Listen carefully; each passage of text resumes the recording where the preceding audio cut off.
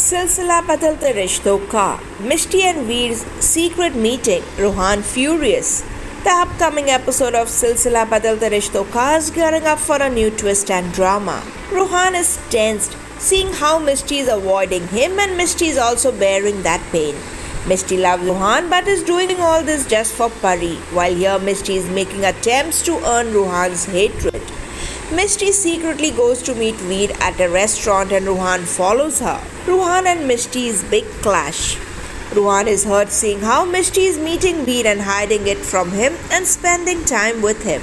Ruhaan decides to confront Mishti over what she is doing and why is she avoiding him and meeting Veer all over again after what all has happened. So what do you feel about this? Keep watching our channel TV Prime Time for more such exciting updates and upcoming twist.